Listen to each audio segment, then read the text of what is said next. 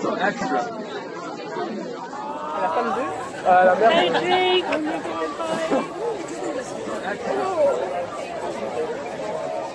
Oh my god, bye. because I feel like food makes people feel things. Um, you can come from all different walks of life, different cities, different countries, different. I would say I'm like an oven.